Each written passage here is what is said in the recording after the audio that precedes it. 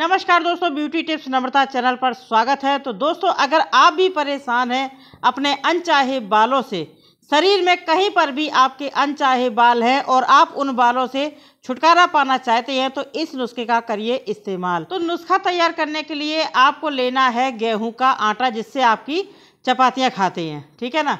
तो आप दो छोटा चम्मच आप लीजिए गेहूँ का आटा जो हम चपाती खाते हैं। चाहे तो आप गेहूँ का आटा ले सकते हैं या फिर आप यहाँ पे बेसन ले सकते तो हैं। तो यहाँ पे मैंने दो चम्मच ले लिया है चपाती वाला आटा यानी गेहूँ का आटा और इसके बाद डाल दिया है कोकोनट ऑयल यानी कि नारियल का तेल तीन से चार ड्रॉप। अगर नारियल का तेल नहीं है तो इसकी जगह पर आप घी का इस्तेमाल कर सकते हो और आपके पास बादाम ऑयल है तो बादाम ऑयल इस्तेमाल कर सकते हैं। थोड़ा सा ऑयल इसमें चाहिए हमें मॉइस्चराइजिंग के लिए। अब इसके बाद डाल देंगे इसमें लेमन यानी कि नींबू नींबू का रस। तो मैंने यहाँ पे एक चम्मच भर करके नींबू का रस ले लिया है। और जो नींबू का रस होता है, एक तो आपकी स्किन को ब्राइट करेगा। यानी कि जहाँ कहीं भी हमारे हाथ में, पैर में अंडर आर्म्स में, चेहरे पर कहीं पर भी अनचाहे बाल है तो उस जगह को ये क्या करेगा? क्लीन करेगा। अनचाहे बालों की जड़ों को कमज़ोर बनाएगा, क्योंकि नींबू के साथ में हम और चीज़ों को ऐड कर रहे हैं। अब इसमें हम डालेंगे नमक। तो यहाँ पे मैंने आधा टी स्पून मैंने यहाँ पे नमक डाल दिया है। नमक क्या करता है? बालों की जड़ों को कमज़ोर बनाता है और बालों को, अनचाहे बालों को जड़ों से निकालता है और दोबारा से बालों की रीग्रोथ ही ख़त्म कर देता है। अगली जो चीज़ है, ये मैंने लिया है बेनेगर तो एक चम्मच आपको लेना है बेनेगर यानी कि सफ़ेद सिरका। ये जो सफ़ेद सिरका होता है बेनेगर होता है, इसको आप चाउमीन वगैरह में इस्तेमाल करते हो और इसको बहुत सारी चीज़ों में जैसे कि पास्ता वगैरह में, अचार वगैरह में इस्तेमाल किया जाता है। तो अगली जो सामग्री है, ये लिया है मैंने टूथपेस्ट। तो मैंने यहाँ पे, आप जो भी पेस्ट यूज़ करते हैं, यहाँ पे मैंने कॉलगेट का पेस्ट लिया है।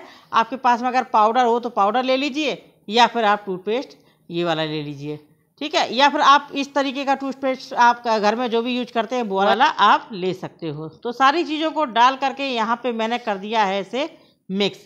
तो अभी ये क्या आप देख सकते हैं, जो पेस्ट है हमारा, ये थोड़ा टाइट है। तो अब इसमें हम क्या करेंगे? थोड़ा सा डालेंगे पानी। यहाँ पर आप देख सकते हैं, मैं बिल्कुल थोड़ा सा पानी डालूँगी क्योंकि बहुत ज़्यादा पेस्ट हमें पतला नहीं करना है। अगर आपको ऐसा लगता है आपका पेस्ट पतला हो गया है तो आप इसमें थोड़ा सा आटा और मिला लेना तो ये थिक हो जाएगा, ठीक है? तो आपको क्या करना है? इस तरीके से एक चम्मच पानी डाल करके इसको अच्छे से मिक्स करना है।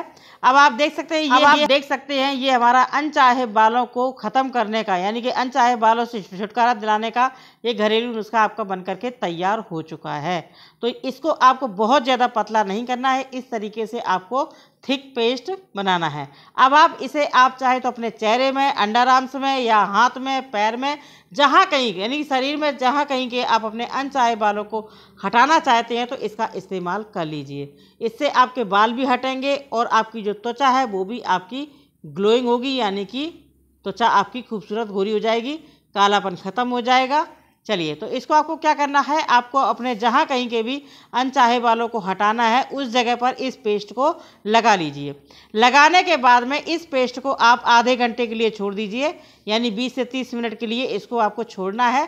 तो जब आप 30 मिनट के लिए इसको छोड़ेंगे तो ये बिल्कुल, ये कैसा हो जाएगा? हल्का सा ये सूख जाएगा। ठीक है?